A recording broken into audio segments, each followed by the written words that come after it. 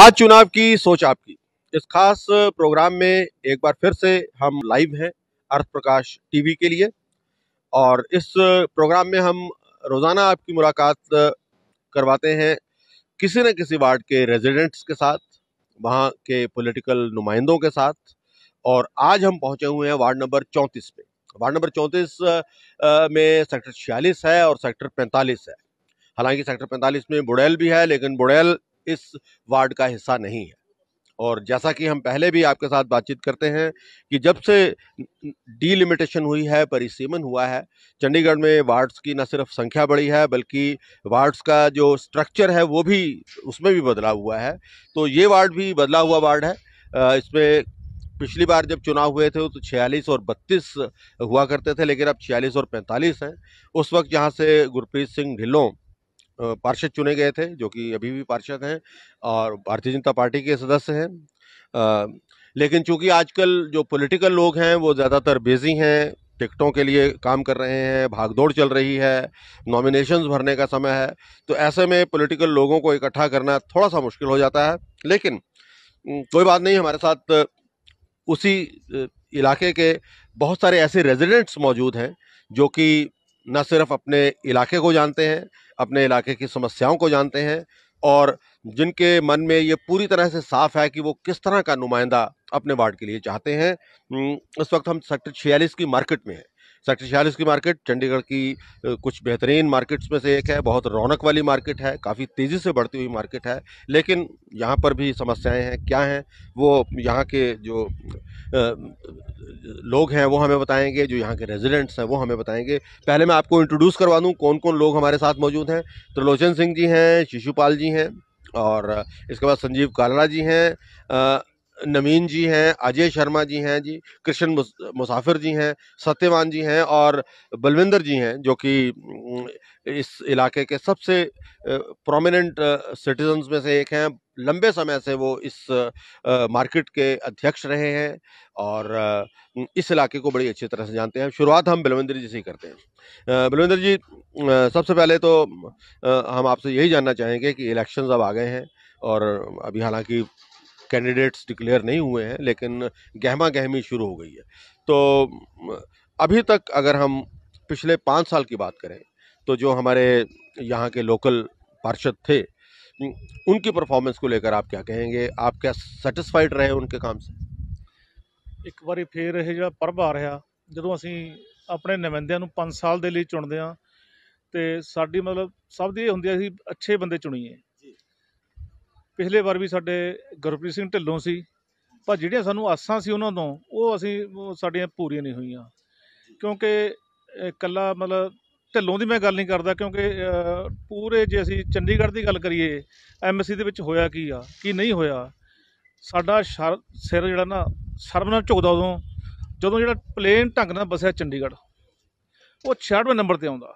ਦੋਸਤੋ ਅਸੀਂ ਹਮੇਸ਼ਾ ਮਤਲਬ ਚੰਡੀਗੜ੍ਹ ਦਾ ਨਾਮ ਬੜੇ ਸਤਿਕਾਰ ਦੇ ਨਾਲ ਬੜੇ ਸਾਫ਼ ਸੁਥਰੇ ਸਿਟੀ ਦੇ ਵਿੱਚ ਲਿਆ ਜਾਂਦਾ ਸੀ। ਪਰ ਰੀਅਲੀ ਦੁੱਖ ਆਉਂਦਾ ਕਿਉਂਕਿ ਅਸੀਂ ਚੰਡੀਗੜ੍ਹ ਦੇ ਨਿਵਾਸੀ ਆ ਚੰਡੀਗੜ੍ਹ ਰਹਿੰਦੇ ਆ ਜਦੋਂ ਤੁਹਾਡਾ ਸ਼ਹਿਰ ਨੂੰ ਇਹੋ ਜਿਹੇ ਵਿਸ਼ੇਸ਼ਣ ਮਿਲਦੇ ਨੇ ਤਾਂ ਜ਼ਰੂਰ ਤੁਹਾਡਾ ਮਨ ਭਾਰੀ ਹੁੰਦਾ ਤੇ ਜ਼ਰੂਰ ਦੁਖਦਾ। ਕਲੀਨਲੀਨੈਸ ਦਾ ਮਸਲਾ ਜਿਹੜਾ ਕਿ ਵੱਡਾ ਮਸਲਾ ਵੱਡਾ ਮਸਲਾ ਤੁਹਾਡੇ ਸੈਕਟਰ 'ਚ ਵੀ ਇੱਥੇ ਵੀ ਤੁਹਾਡੀ ਮਾਰਕੀਟ 'ਚ ਵੀ ਇਹ ਮਸਲਾ ਹੈ? ਬਿਲਕੁਲ ਮੇਰੀ ਮਾਰਕੀਟ ਦਾ ਮਸਲਾ ਵੀ ਇਹੀ ਹੈ ਜੀ। ਅੱਜ ਅਸੀਂ ਪਾਰਕਾਂ 'ਚ ਜਾ ਕੇ ਦੇਖੀ ਉੱਥੇ ਵੀ ਮਸਲਾ ਇਹੀ ਹੈ ਜੀ। ਤੁਸੀਂ ਬਾਥਰੂਮਾਂ ਦੀ ਸਫ਼ਾਈ ਦੇਖ ਲਓ ਜੀ। ਜਾਂ ਸੜਕਾਂ ਦੇ ਵਿੱਚ ਪਏ ਹੋਏ ਟੋਏ ਜਿਹੜੇ ਹੁਣ 15 20 ਦਿਨਾਂ ਦੇ ਮਹੀਨੇ ਦੇ ਵਿੱਚ ਇਹ ਚੱਲੀ ਆ ਵੀ ਇਹਨਾਂ ਨੇ ਸਾਫ਼ ਕਰਵਾਏ ਨੇ ਉਦਾਂ ਚੰਡੀਗੜ੍ਹ ਦੀ ਮਾੜੀ ਕੋਈ ਕਸਰ नहीं ਛੱਡੀ असल में इन्होंने सत्यवान जी आपने बलविंदर जी की बात सुनी बिल्कुल सर सबसे पहले मैं आपका धन्यवाद करूंगा क्योंकि अर्थ प्रकाश आज मार्केट में आज एक लोकल लेवल पे जो ग्राउंड लेवल पे बिल्कुल आके लोगों के व्यू ले रहे हैं आपका बहुत बहुत धन्यवाद सर, जो आपने पीछे अखबार में भी पढ़ा है, जो चंडीगढ़ एक या दो नंबर पे सफ़ाई के मामले में आता था, आज वो सिक्सटी सिक्स नंबर तक पहुँच गया है। ये सारी मेहरबानी हमारे उन अफसरों की है, कारपोरेशन के, या जो हमारे नुमाइंदे चुने जाते हैं, उनकी मेहरबानी है। हम मार्केट में बैठे हैं, हम एक छोटी सी मार्केट में बैठे हैं, और यहाँ भी हम देखते हैं, सफ़ाई आप मार्केट में हमारे साथ चलो, हम आपको दिखाते हैं। सफ़ाई के, बिल्कुल सफ़ाई नहीं है, कूड़े के ढेर लगे पड़े हैं। हमारा बाथरूम आप जाके देखो पीछे पार्षद जी ने इसका मुहूर्त किया था, लेकिन बाहर बाहर सिर्फ़ टाइलें लगा दी। आप अंदर जाके देखो, वही गंदगी फैली हुई है। सर, किसी भी, आप किसी भी लेवल पे देख लो, किसी भी लेवल पे देख लो, हम हर लेवल पे मतलब इस कारपोरेशन को हम बिल्कुल फेल मानते हैं, और जो हमारा आयना, जो हमारा नुमाइंदा चुना गया है, वो हमारी मार्केट में एक बारी भी, सर, पाँच साल के अंदर एक बारी भी हमारी मार्केट में नहीं आया। भाई, हमारे से पूछने, भाई, कोई हमारे अंदर कमी है या कोई सफ़ाई में कमी है या किसी चीज़ की भी कोई दिक्कत है, सर? थैंक यू जी मुसाफिर साहब आपने अपने दोनों साथियों की बात सुनी तो क्या आप इनसे सहमत हैं? सबसे पहले तो मैं आपका धन्यवाद करना चाहता हूँ। जो इन्होंने कहा वो बिल्कुल सत्य है और जो मैं कह रहा हूँ या पूरी चंडीगढ़ की आवाम जनता कह रही है। आप मेरे व्यू और उनके अलावा किसी और के भी व्यू लोगे।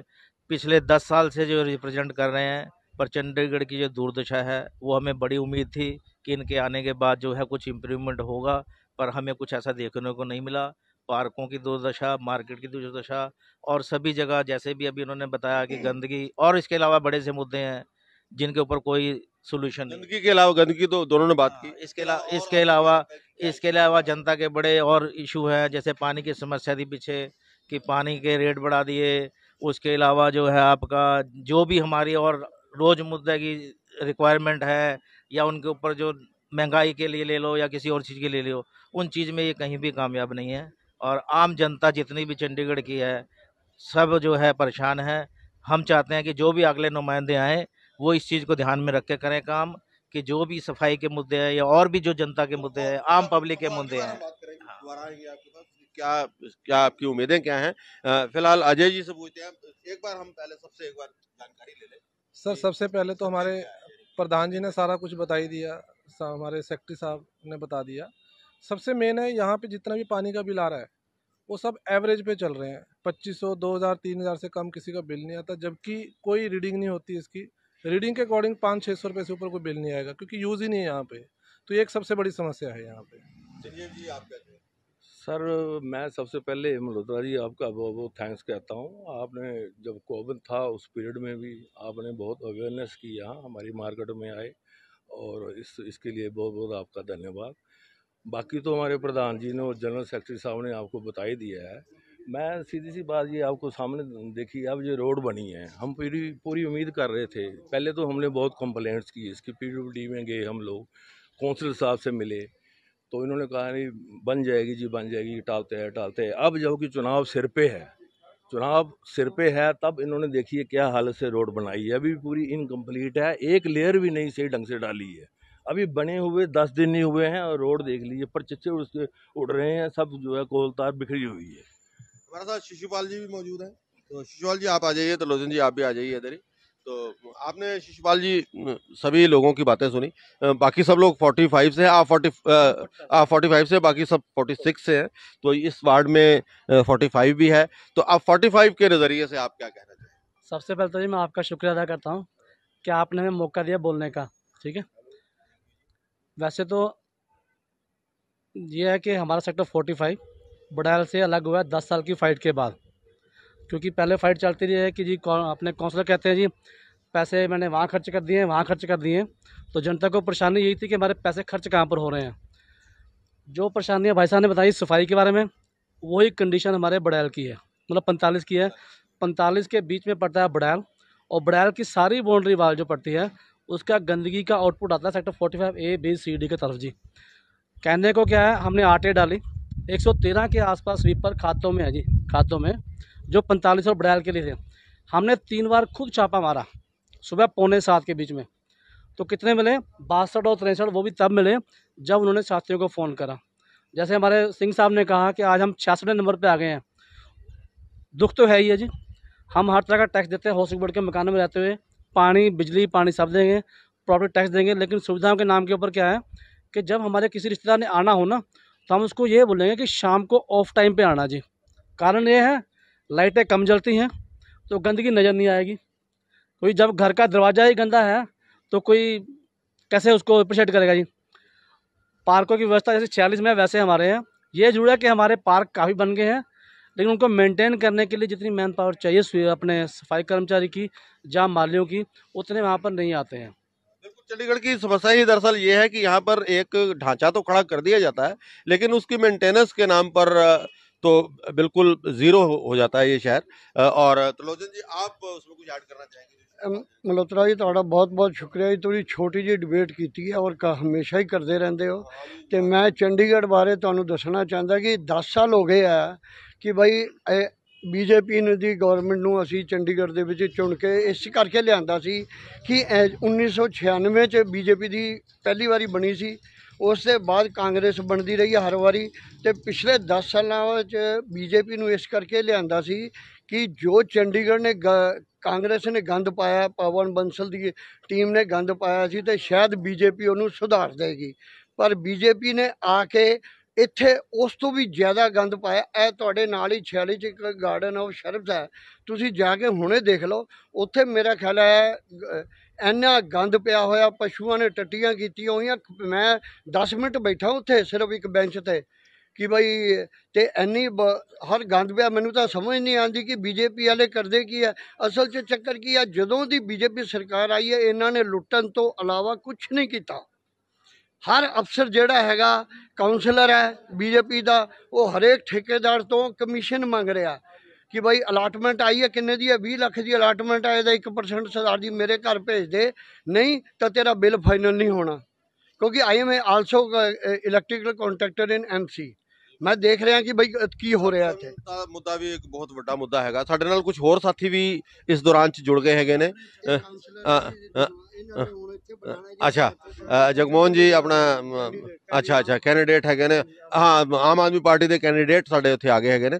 ਜਗਮੋਹਨ ਜੀ सबसे पहले मैं आप जी का बहुत बहुत धन्यवाद करता हूँ जी क्योंकि आपने मीडिया के एक मीडिया ही ऐसा होता है जो जो आवाज़ आगे पहुँचाता है सबसे ਪਹਿਲਾਂ ਮੈਂ ਸਫਾਈ ਅਭਿਆਨ ਦੇ ਬਾਰੇ ਬੋਲਾਂਗਾ ਜੀ ਤੇ ਮੈਂ 45 ਤੇ 46 ਦੇ ਵਿੱਚ मैंने टूर किया कल भी ਤੇ जो जहाँ भी मतलब कोई पब्लिक पॉइंट है जिस को पब्लिक पब्लिक गुजरती है वहाँ इतने इतने गंदे ढेर पड़े हैं वहाँ मक्खियाँ मच्छर ऐसे घूम रहे हैं ਤੇ ਬੰਦੇ ਕੋ ਨੱਕ में वो कपड़ा लेके या मुंह पूरा चंगी तरह ढक के लंघना पड़ता ਉੱਥੇ ਬਸ ਬਿਮਾਰੀਆਂ ਲੱਗਣ ਦਾ ਵੀ ਖਤਰਾ ਹੈ ਜੀ ਤੇ ਉੱਥੇ ਜੋ भी मंडी भी लगती है सब्जी मंडी लगती है जो सब्जी मंडी लगती है तो सवेरे उसकी जो चंगी तरह सफाई भी नहीं होती वहाँ पॉलिथीन वगैरह वगैरह हवा से भी उड़ते रहते हैं तो मैं मीडिया के राही मैं आवाज़ कहता हूँ भी मीडिया के राही आप आवाज़ उठाओ जी बिल्कुल बिल्कुल ठीक है जी।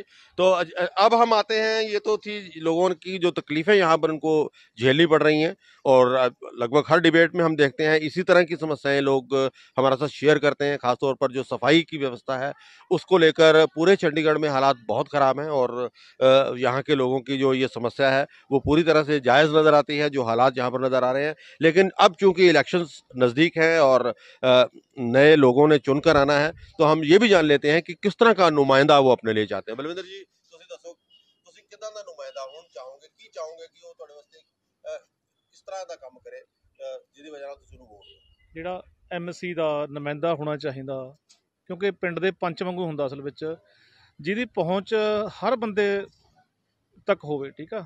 ਹਰ ਲੋਕਾਂ ਨੂੰ ਪੁੱਛਦਾ ਰਹੇ ਹੋ ਵੀ ਮੇਰੀ ਸਮੱਸਿਆ ਦੱਸੋ ਮੈਨੂੰ ਕੀ ਆ। ਹਾਲਾਂਕਿ ਚੰਡੀਗੜ੍ਹ ਦੀਆਂ ਬਹੁਤ ਵੱਡੀਆਂ ਸਮੱਸਿਆਵਾਂ ਨੇਗੀਆਂ ਬਹੁਤ ਛੋਟੀਆਂ ਸਮੱਸਿਆਵਾਂ ਨੇ। ਇਹ ਕੱਲੀਆਂ ਐਮਸੀ ਦੇ ਵੱਲੋਂ ਸੋਲਵ ਹੋਣ ਵਾਲੀਆਂ ਸਮੱਸਿਆਵਾਂ ਨੇ। ਪਰ ਅਫਸੋਸ ਹੁੰਦਾ ਉਦੋਂ, ਜਦੋਂ ਸਾਨੂੰ ਵੱਡੀਆਂ ਆਸਾਂ ਹੁੰਦੀਆਂ ਨੇ, ਪਰ ਬੰਦੇ ਇਦਾਂ ਨਹੀਂ ਕਰਦੇ।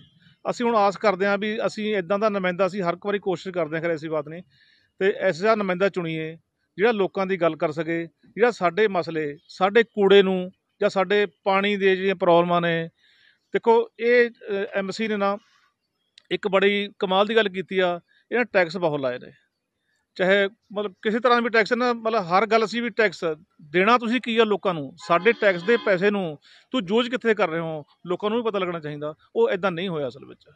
ਅਸੀਂ ਹੁਣ ਸੋਚ ਰਹੇ ਹਾਂ, ਅਸੀਂ ਮਤਲਬ ਇਹ ਕਰਦੇ ਵੀ ਇੱਕ ਤਾਂ ਜਿਹੜਾ ਬੰਦਾ ਇੱਥੋਂ ਨੂੰ ਕੋਈ ਨਾ ਕੋਈ ਉਹ ਹੋਵੇ ਲੋਕਲ ਹੋਵੇ ਬੰਦਾ। ਜਿਹੜਾ ਲੋਕਾਂ ਨੂੰ ਜਵਾਬ ਦੇ ਹੋਵੇ ਲੋਕਾਂ ਨੂੰ ਲੋਕ ਤਾਂ ਪੁੱਛ ਸਕਣ ਵੀ ਆ ਮੇਰਾ ਕੰਮ ਹੋਇਆ ਨਹੀਂ ਕਿਉਂ ਨਹੀਂ ਹੋਇਆ ਠੀਕ ਆ ਇਹ ਅਸੀਂ ਚਾਹੁੰਦੇ ਆ ਵੀ ਪਾਰਟੀਆਂ ਨੂੰ ਛੱਡ ਕੇ ਇਦਾਂ ਵੋਟਾਂ ਪੈਣੀਆਂ ਚਾਹੀਦੀਆਂ ਨੇ ਜਦੋਂ ਚ- ਚੰਗੇ ਬੰਦੇ ਸਾਡੇ ਨਾਲ ਆ ਸਕਣ बिल्कुल सत्यवान जी आपको क्या, आप क्या कहेंगे कि अ, ये जो लोकल इलेक्शंस हैं लोकल मुद्दे हैं इसके अंदर अ, तो म, आप चेहरा देखकर वोट देना पसंद करेंगे या आप किसी पॉलिटिकल पार्टी के साथ अगर आपकी एफिलिएशन है तो सिर्फ उस पॉलिटिकल पार्टी के नाम पर ही ठप्पा लगाएंगे सर, मेरा विचार ये है कि आप पॉलिटिकल पार्टियों से हटकर अगर कोई सोशल वर्कर हमें मिलता है, अपने ही सेक्टर से, अपने पड़ोस वाले सेक्टर से अगर कोई अच्छा सोशल वर्कर मिलता है तो हम उसको नुमाइंदे को चुन के जो है उसमें भेजें और वो हमारी शायद कोई बात सुनेगा, क्योंकि हम, मेरी उम्र अबाउट अबाउट फिफ्टी ईयर है, लेकिन आज तक हम जो वोट डालते आए हैं, पॉलिटिकल पार्टियों को वोट डाली हैं, लेकिन हमें उसका कोई बेनिफिट नहीं मिला।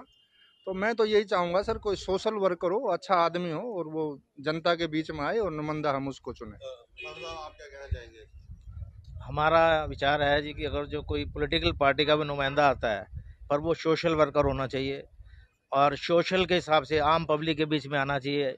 ये नहीं कि इलेक्शन जीतने के बाद बंदे मिलते नहीं है शक्ल नहीं दिखाते हैं। नुमाइंदा ऐसा होना चाहिए जो अपने सेक्टर में अपने इलाके में जाके लोगों की समस्याएँ पूछे और उन समस्याओं का हल करे।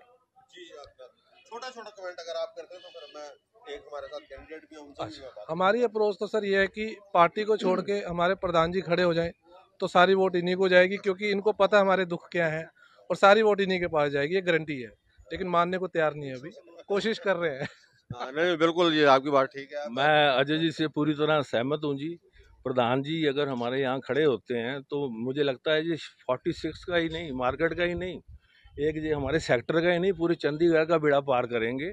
और बाकी जहाँ तक मल्होत्रा साहब आपने ये पूछा है, कैंडिडेट चाहे पोलिटिकल हो, चाहे सोशल हो, कैंडिडेट ऐसा होना चाहिए, पढ़ा लिखा हो, ज़रूरत वक्त जिसको कोई कंप्लेंट है, वो उस उस समय काम आ सके, कैंडिडेट ऐसा होना चाहिए।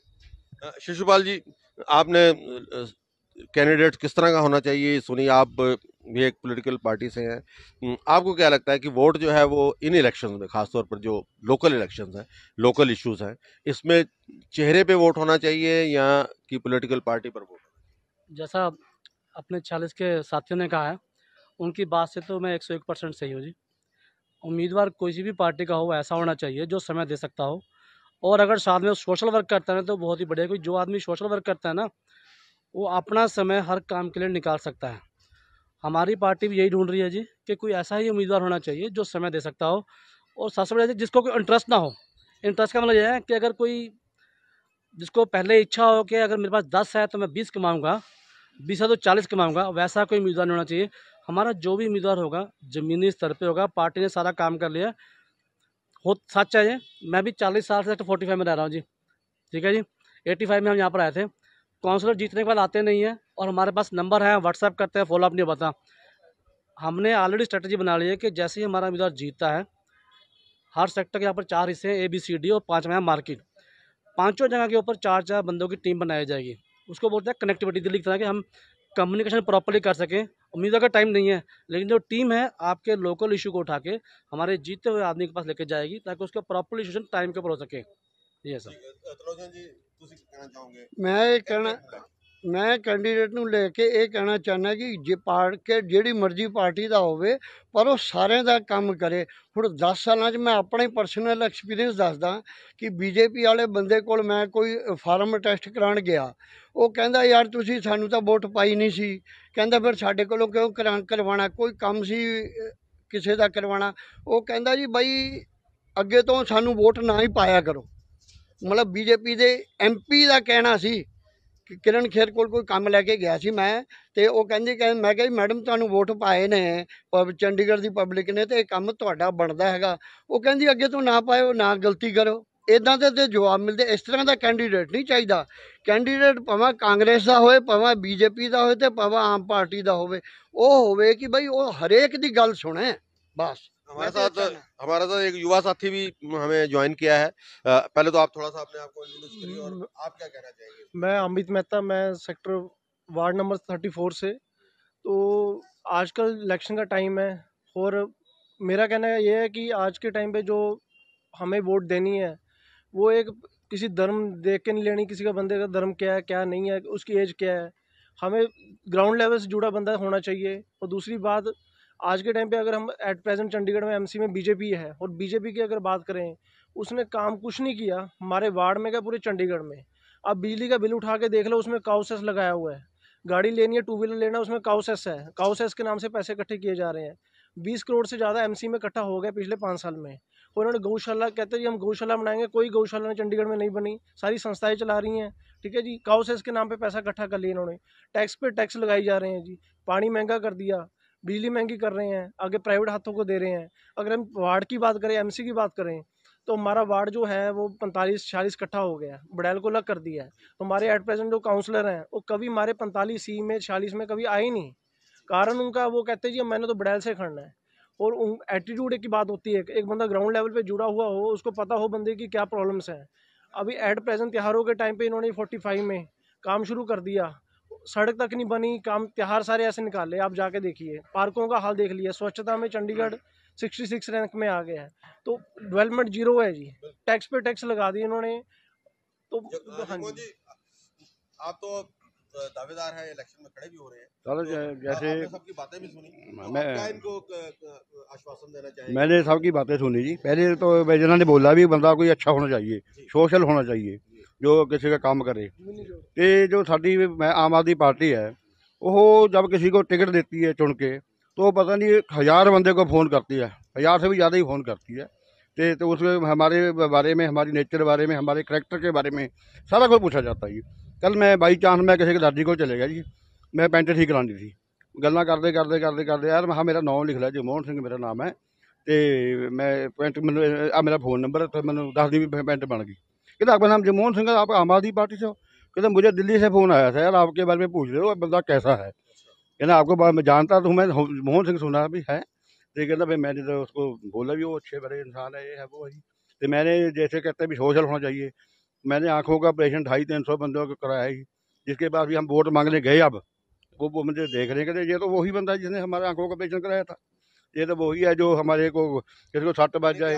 सामाजिक कार्यों के साथ पहले से ही जुड़े हुए हैं और आपको निश्चित तौर पर इसका फायदा मिलेगा अ, चलो खैर अब मुझे लगता है कि ये मेन मुद्दे तो हमने यहाँ पे डिस्कस कर लिए लेकिन जो बात मुझे समझ में आ रही है वो यही है कि लोग परेशान हैं यहाँ की खासतौर पे सफाई की व्यवस्था से और दूसरा करप्शन से जब भी उन्हें किसी भी काम के लिए एमसी में जाना होता है या किसी भी सरकारी दफ्तर में जाना होता है तो उन्हें काफ़ी दिक्कतें होती हैं तो इसके लिए बलविंदर जी फाइनली ਤੁਸੀਂ ਹੁਣ ਕੀ ਕਹੋਗੇ ਕਿ ਅਮ, ਅ, ਇੱਕ ਤੇ ਸਫ਼ਾਈ ਦੀ ਸਮੱਸਿਆ ਮੇਨ ਤੋਂ ਹੈਗੀ ਹੈ ਦੂਸਰੀ ਕਰਪਸ਼ਨ ਦੀ ਸਮੱਸਿਆ ਮੇਨ ਹੈਗੀ। ਇਸ ਤੋਂ ਇਲਾਵਾ ਹੋਰ ਤੁਸੀਂ ਕੀ ਕਹੋਗੇ? ਇਸ ਤੋਂ ਇਲਾਵਾ ਛੋਟੀਆਂ ਸਮੱਸਿਆਵਾਂ ਹੋਰ ਵੀ ਬਹੁਤ ਨੇ ਜੀ ਚੰਡੀਗੜ੍ਹ ਦੀਆਂ ਸਮੱਸਿਆਵਾਂ ਬਹੁਤ ਨੇ ਨਾ ਤੇ ਚੰਡੀਗੜ੍ਹ ਨੂੰ ਚਮਕਣਾ ਚਾਹੀਦਾ ਪੂਰਾ।